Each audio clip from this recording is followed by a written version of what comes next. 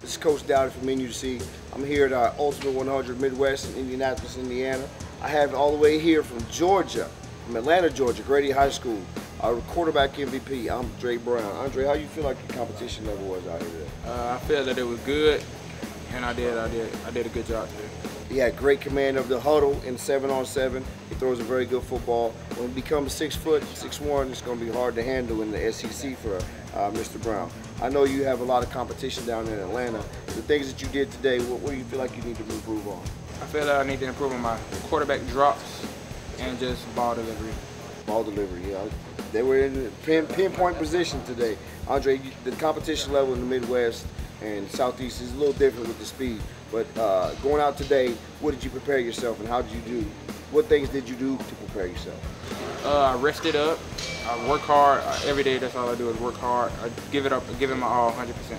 I will look forward to seeing you in Oklahoma. Good job, today. Thank you.